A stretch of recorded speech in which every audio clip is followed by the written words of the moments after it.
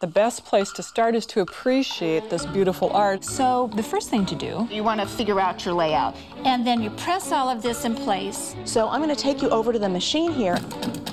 For giving us the tips and techniques to piece it all together.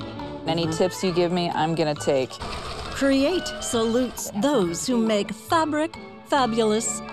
How to put all these components together to create art. That's a quilting show? Are That's you crazy?